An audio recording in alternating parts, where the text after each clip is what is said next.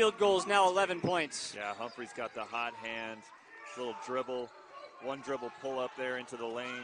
Smart play by Humphrey there to get the to get that shot. Kiss. Drop. Had the referee call the travel. Shot clock turned off. 10 seconds on the game clock. It's Kiss driving inside, down to two, down to one, and he got it to go. It takes a team here. Yeah, well, absolutely start implementing it. Peter Kiss gets a great steal. The only way to finish off I Love You is with.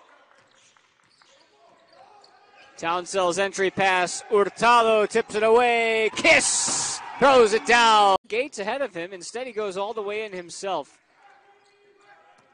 Yeah, you got to look up and find your big man down low. Kiss, instead of going to the corner, gets crunched. In. Quick nod of respect between Kiss and Humphrey once he got to the line.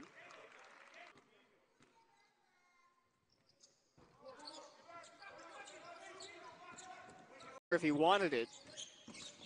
Now Kiss spins away from Humphrey. Can't finish at the rim. Gets it back and gets fouled on his way. 22 points now. All conference last year started every game. Triple double. And he comes up with the steal here, and now he throws in some flair. Kiss is back out there as well. He'll throw it up, and Calixte will slam it down.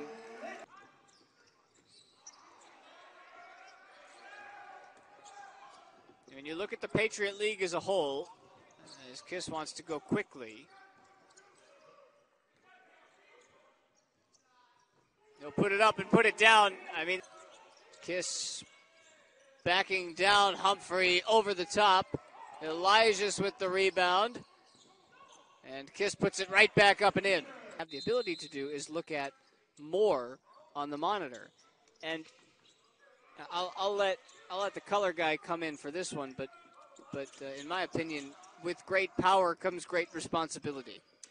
Yeah, they, they need to they need to be selective as, as they can. They need to trust their eyes and, and, and trust their judgment in the game because you don't want to use that replay monitor as a crutch, right? Uh, refer- at the end of the day, the referees want to get it right, but they also need to do their job and just to, and, and call the plays on the court as Peter Kidd.